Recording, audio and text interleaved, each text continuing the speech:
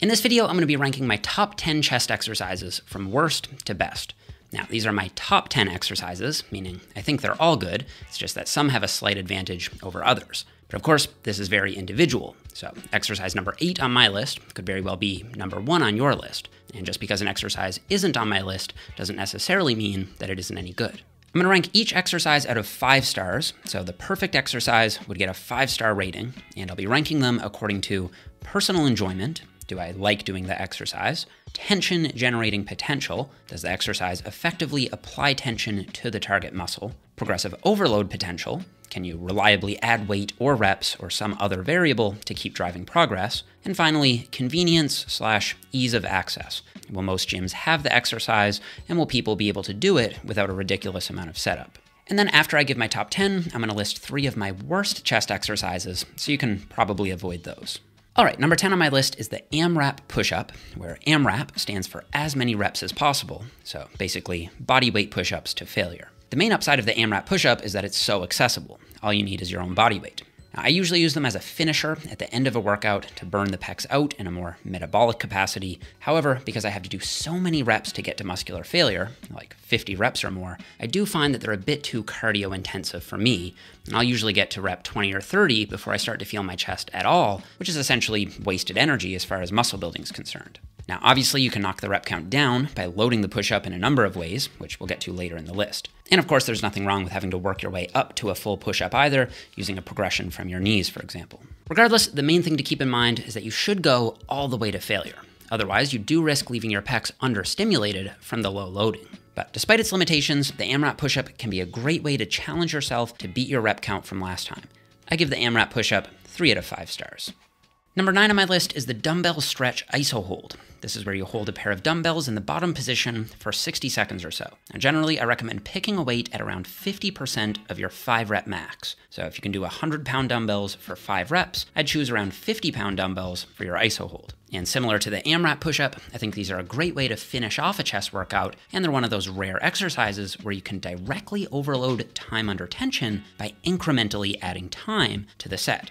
So, for example, if you start at 50 or 60 seconds, you can try to add 5 seconds to the hold time each week as a novel form of progressive overload. Granted, because this exercise uses what's called isometric resistance, meaning the muscle doesn't go through a full dynamic contraction and eccentric contraction, it may be slightly less effective than exercises that use a full range of motion. With that said, since almost all other common exercises already use dynamic contractions, I still include these periodically as a novel way of stimulating the muscle. There is some, albeit inconsistent, research hinting toward a possible benefit from weighted stretching, especially if done at the end of a workout so later sets aren't compromised. And there's very convincing evidence that training a muscle at long muscle lengths, in other words, in the stretched position, is more hypertrophic than training a muscle at short muscle lengths. So, as long as these are included in addition to dynamic movements rather than replacing them, I think they're a technique worth trying out.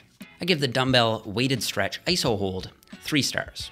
Number eight is the Pec Fly machine. Now, there are a bunch of different options here. The most popular is the standard pec deck machine, where you're essentially doing a flat fly. Now, I personally prefer a fly machine more like this one because it's set at a slight incline, so there's a bit more emphasis on the upper pecs. But since it's not as common, I'll use the standard pec deck here, which still accomplishes the same basic thing. And in general, I do like most pec fly machines because unlike a dumbbell fly, where you have high tension at the bottom and zero tension at the top, machines offer a nice even tension profile in the stretch position at the bottom and the contracted position at the top. Now, the reason it doesn't rank higher for me is that they can be a bit harder to progressively overload on compared to other exercises. At a certain point, if you just keep increasing the load, you might find it harder to feel your pecs working or to keep your form tight. So when it comes to progressive overload, once you hit a certain weight on the stack, I mainly stick to just increasing reps at that same weight or focusing on the mind-muscle connection at the same weight. But since I don't really think of the pec fly as a heavy overloading movement anyway, I don't think that's a really big deal, and I mainly use it as a tool to squeeze in a little extra chest volume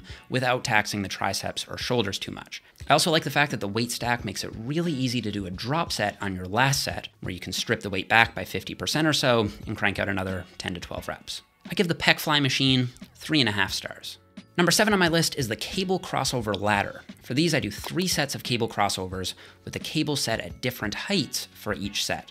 So for the first set, I put the cables low and fly out and up to target the upper pecs a bit more. For the second set, I put the cables at around chest height and fly straight out to target the mid pecs a bit more. And then for the third set, I put the cables high and fly out and down to target the lower pecs a bit more. This variation between sets allows you to individually target the upper, mid, and lower chest with just one piece of equipment. Cables also give you a nice even tension profile, so you don't need to worry about losing any tension at any point in the range of motion. And I find the uniqueness of modifying the focus on each set helps keep me more engaged on an otherwise kind of vanilla exercise. Now, this isn't a movement that lends itself extremely well to progressive overload, but it is a unique and effective pump style exercise that most people will have access to. I give the cable crossover ladder three and a half stars. Coming in at number six is the dip. Now, the dip is without question one of the best chest exercises from a tension generating standpoint. You get this fantastic stretch at the bottom and a big squeeze at the top with even tension applied throughout the range of motion.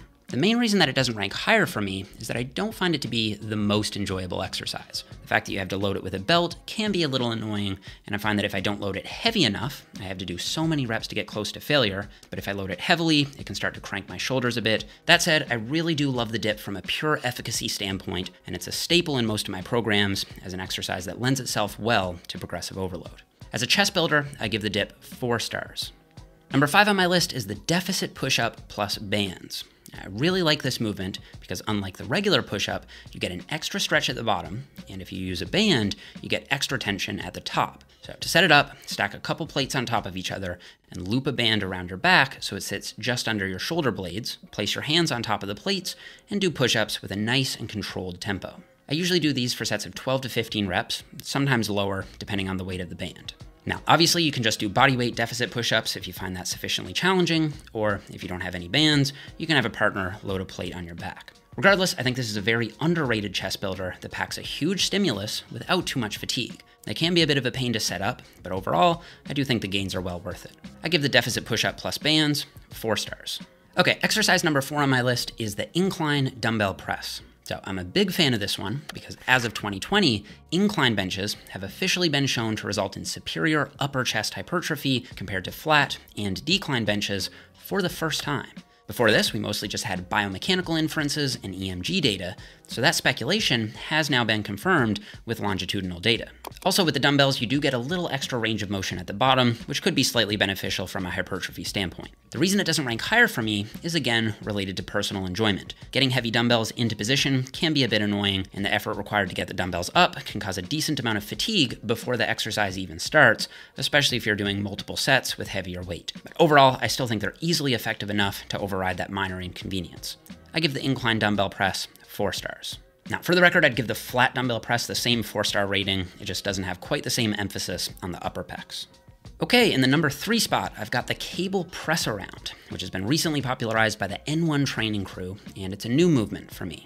It's essentially a single arm low cable fly with a few important features that I think makes it better. For one, you get quite a lot more range of motion in the fully contracted position. Normally, people stop crossovers just before their hands hit one another, but that's actually quite a bit short of the pec's full contractile potential. Now, you could always just cross your hands over, but that can feel awkward, especially if your hands hit one another, and then you have to remember to alternate the over and underhand from rep to rep. So, doing them unilaterally just feels better. It's also a rare instance where you can focus on each pec individually while still having solid stability by bracing against the cable machine with your other hand. I usually do these in the 10 to 12 rep range, and they're a great way to accumulate more pec volume without fatiguing the triceps or delts much at all. I give the cable press around four and a half stars. Okay, so coming in at the number two spot is the machine chest press. This may come as a surprise to some of you, but I'm actually a huge fan of chest press machines as long as they give a smooth resistance profile and use a full range of motion. In my experience, a good chest press machine creates a better mind muscle connection with the pecs than almost any other movement because you don't have to worry about stabilizing, and so you can focus all your attention on engaging the pecs. Now, obviously, this is a bit of a catch 22, as the lack of stabilization means that other smaller stabilizing muscles won't be as active. However, as long as you're using a combination of machines and free weights, and this isn't the only chest exercise you do, I don't think that's a big deal. Also, because most machines lock you into a more fixed position, you won't have the same freedom of movement at all joints, meaning if the machine you're using doesn't fit your particular skeleton well, it may not be the best option for you. In general, I'm a fan of most hammer strength chest press machines, and I'm a huge fan of this plate loaded machine at my gym in particular. I just haven't found a piece of equipment that I personally feel working my chest this well, while at the same time allowing me to apply progressive overload consistently and efficiently. Assuming it's a good one, I give the machine chest press four and a half stars. And coming in at the number one spot, this should come as no surprise to longtime subscribers, the bench press. Going back to my criteria real quick, the tried and true bench press ranks about as highly as an exercise can for all four criteria. It's probably my favorite exercise, period, for any body part. It places high tension on the entire pec throughout the full range of motion. It's very easy to overload, especially since you can microload it with just 5 pounds or less, and it's very accessible. Almost every gym has a bench and a barbell. Now, there are some people who make arguments against the bench press as a so called hypertrophy exercise. They'll usually say that it's good, but maybe not the best choice because the barbell limits your range of motion at the bottom.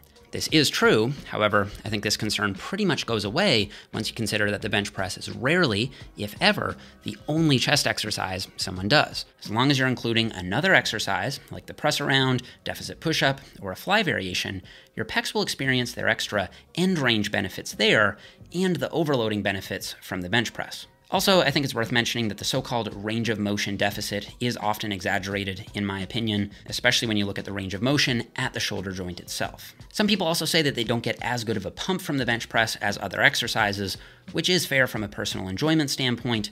However, the pump is not nearly as correlated with hypertrophy as many think, and mechanical tension is far more important than the pump for muscle growth. Now, I tend to favor the flat bench myself, especially with my powerlifting background, but I will periodically include the incline bench press, especially when I'm trying to focus a little more on my upper chest. Perhaps most importantly, though, the bench press is a very motivating exercise. Most people, myself included, like seeing their bench numbers increase, which makes progressive overload more likely. There's just something about hitting bench press PRs that's so much more motivating than hitting PRs on any of the other exercises. I give the bench press five stars. Now, as promised, there are a few exercises that I'm personally not a fan of. The first is the standing plate press. This one just gets gravity wrong. Gravity always points down, meaning the resistance is pointing vertically, but you're pressing horizontally. This is much more of a delt exercise than a chest exercise, and for that reason, I give it one star. For the record, doing it lying down is slightly better, but you're still not maximizing pec tension at all with this, and I'd suggest just using dumbbells instead. Next, there's the alternating one arm dumbbell press. This is fine enough, and it will work your chest. However, the extra balance that you need to stay on the bench means you won't be able to load the pecs as effectively. You also give each pec a little mini rest in between each rep, which isn't detrimental as long as you take each side to or close to failure, but I really doubt that it's optimal. I give it one and a half stars.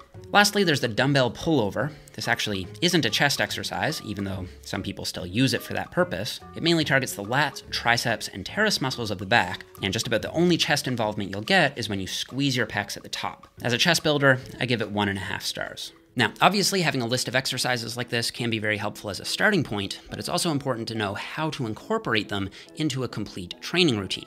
For example, some of the exercises I've shown here are better performed earlier or later in the workout, or for higher or lower reps, and so on. So if you're looking for a full routine to put all of this information to use, you can check out my complete training programs at jeffnippard.com. I've got push-pull legs, upper lower, and full body programs for all experience levels. And if you aren't sure which one is best for you, there's a program selector tool that'll make the best recommendation for you and your goals. So I'll put a little more info about my most popular programs down below. And if you use the code CHEST, you can save 20% off any program on my site, and that'll also let me know that you came from this video, and I'd really appreciate that support. Also, I want to give a quick shout out to John Green's book, The Anthropocene Reviewed, for the five star review idea. I read that book a little while back, and it gave me the idea to apply the five star rating system uh, to exercises here on the channel. So that's it for this one, guys. Don't forget to leave me a thumbs up if you enjoyed the video, subscribe if you haven't already, and I'll see you guys all here in the next one.